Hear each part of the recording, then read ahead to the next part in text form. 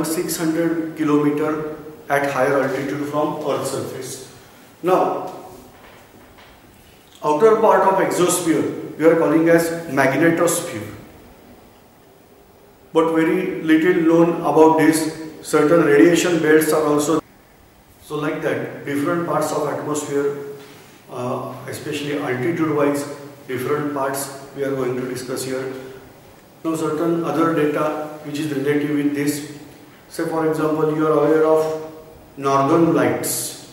If you have heard about northern lights, that from especially higher latitude, we are having this type of light observed in sky. During night time especially one can observe that is called as aurora borealis. Suppose you are able to observe this type of light in southern hemisphere, then it is called as aurora australis. So usually these lights are observed in sky different colors from violet to green, different colors one can observe. This is probably because a charge, uh, when sol, uh, sun is giving certain flares, charged particles are thrown away from sun surface. Part of that is able to enter in Earth's atmosphere. But Earth is also having magnetic field around it. And so, uh, any charged particle is in motion that is producing magnetic field around it. So they automatically get attracted towards north pole and south pole of earth. And therefore they get entered in the atmosphere. And probably in kilometer wise 100 kilometer height that means in particular to ionosphere and mesosphere region they get discharged. They are charged particle they are coming with very high velocity. And while entering they give their energy to the gases present over here. And then light is produced. The excess of energy that is converted in form of light.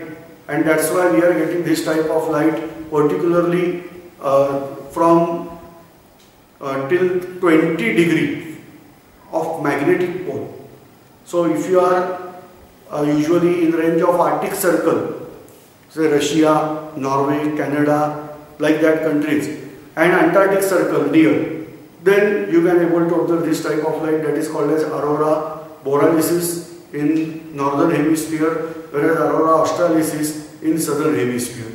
So, particular this region where 100 kilometer height is there, this region is important.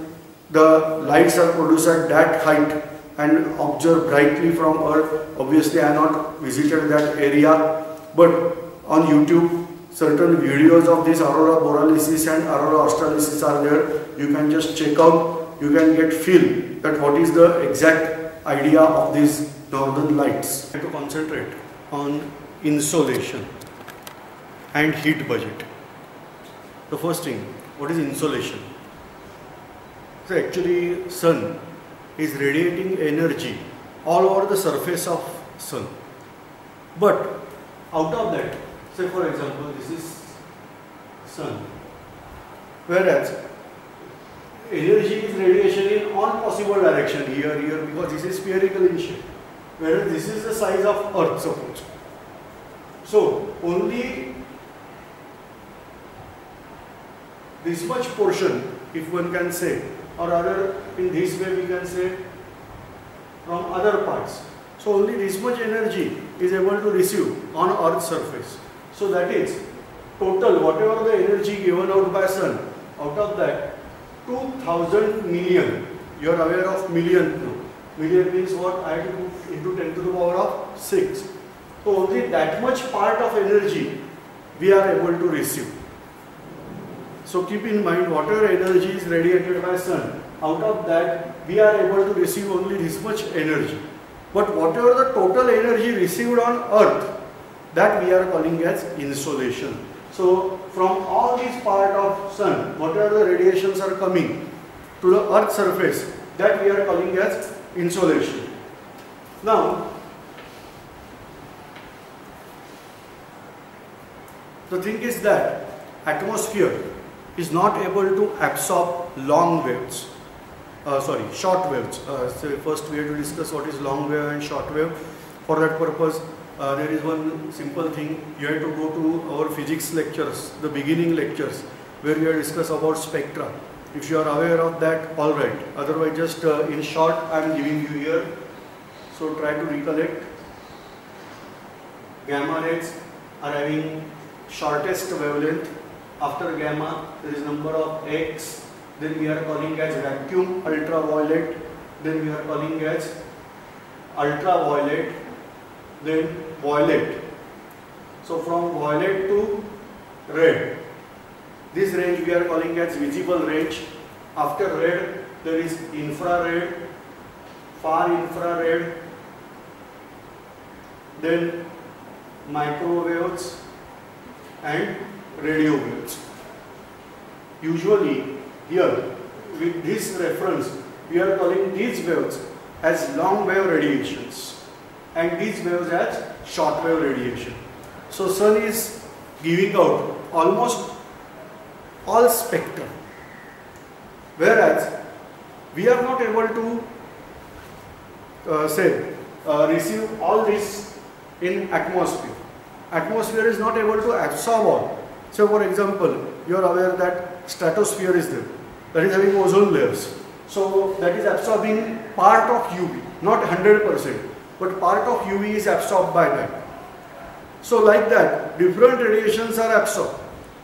Whereas gamma rays are having just range of 10 to 12 centimeter in atmosphere. So they get absorbed in upper parts of atmosphere.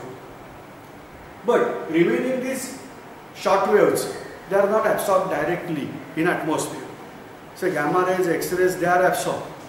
But ultraviolet, not all. And visible range, not at all. They are just passed out till surface because they are, uh, one can say, the atmosphere is not opaque for them.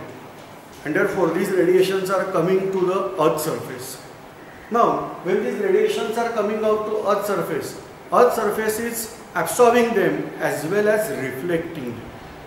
Two things are carried out simultaneously. For example, uh, the color of surface is very important here. One can say, suppose black soil is there, as we are calling of regur type of soil, that is having black color. So black color that indicate almost all radiations are absorbed. Whereas if you are talking of Himalayan part, particularly with India or ice caps present on North Pole and South Pole, then the radiations are reflected back because as that land is covered by ice and especially North Pole there is no land, there is only ice. So that is absorbed, uh, that is reflecting out almost all radiations. Uh, I am not telling you that that's why these regions are cold. Actually the regions are cold therefore there is ice. But because of this snowfall or ice cap, the radiations are reflected to greater extent. Whereas uh, that's why heating decreases because of this radiation. Land is absorbing, say whatever the percentage of, depend on color of land, the percentage of light is absorbed by land. Because of this absorption of radiation, land gets heated. And that hot land now emit radiation. That is, in form of this type of radiation, we are calling this as long wave radiation.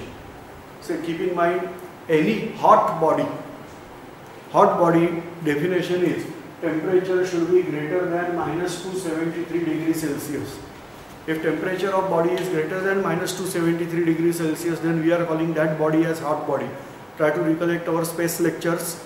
Then we have discussed this type of uh, substances. They are able to emit radiations that is in range of IR, infrared. Usually we are calling thermal imaging. For thermal imaging also we are using this same radiation as infrared radiations. So this is the radiations emitted by this body.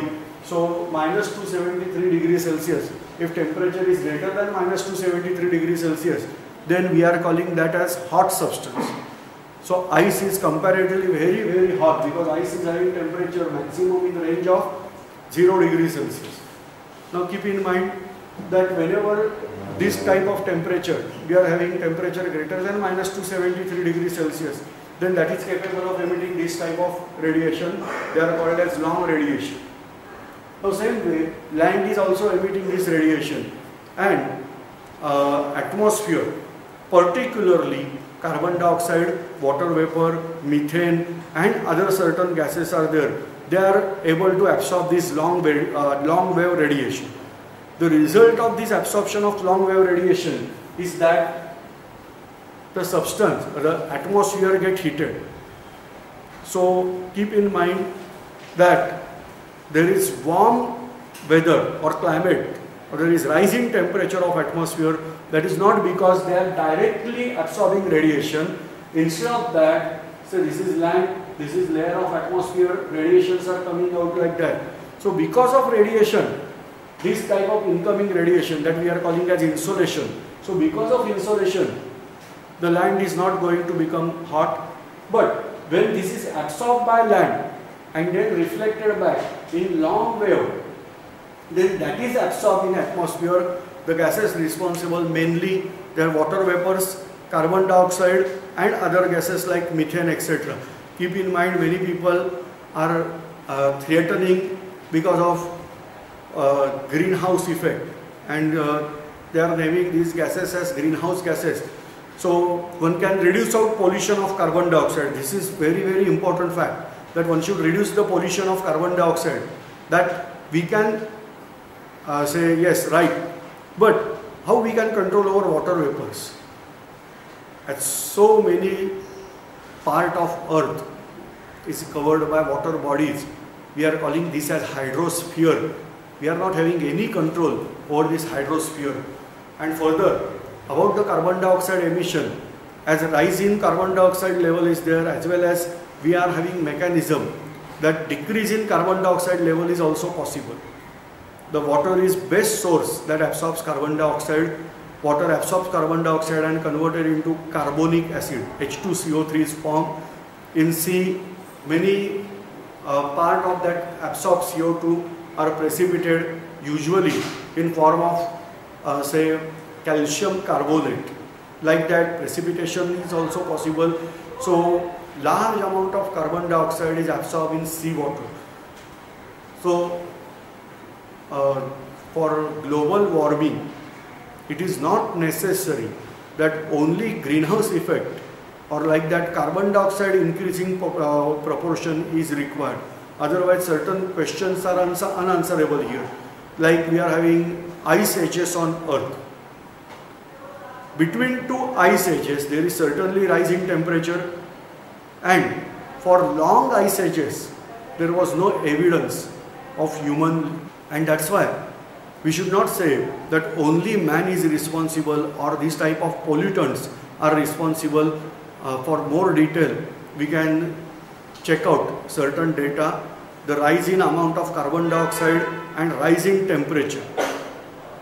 From 1946 to almost 1975, the rise in carbon dioxide level was very high.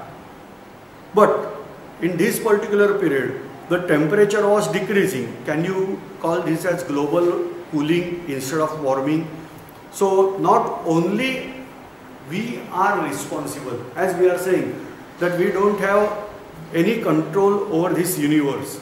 We are having just control over certain parts of earth, not 100% on earth. And therefore, this type of discussion is actually not that much useful anyway. So this way radiated gases, uh, radiated heat is absorbed by this type of gases.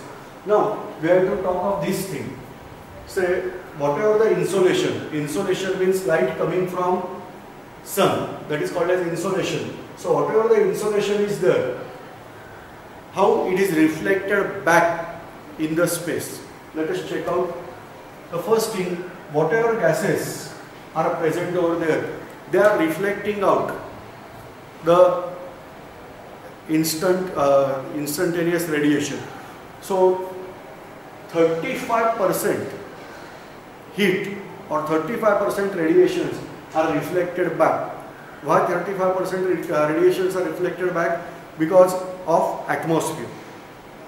The second thing you are aware that there is stratosphere which is consisting of ozone layer. Ozone layer is tend to absorb certain UV. Keep in mind all UVs are not absorbed by uh, that ozone layer. or that is called as ozonosphere. But harmful ultraviolet radiations are absorbed by ozonosphere. So because of that, there is rise in temperature of atmosphere.